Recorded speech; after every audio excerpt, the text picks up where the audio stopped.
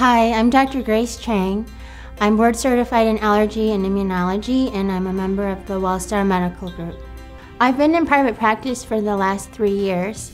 I graduated from medical school in 2004, and I specialize in the diagnosis and treatment of allergy and immunology for patients of all ages.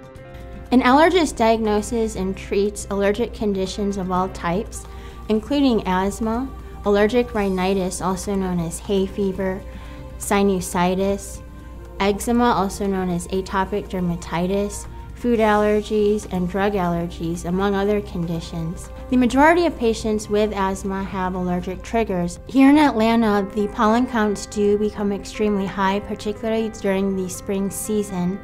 There are three major types of pollen trees in the spring, grass which pollinates in the spring and summer, and ragweed and other weeds in the fall. When treating asthma and allergies, a three pronged approach is often most effective.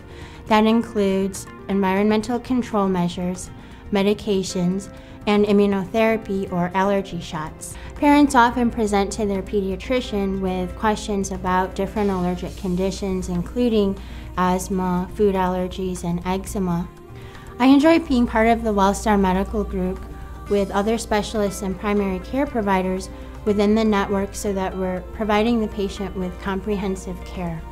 I love what I do, and it's really a privilege to be able to be a member of the Wellstar Medical Group and have the opportunity to work with patients and their families every day to help them feel and live better.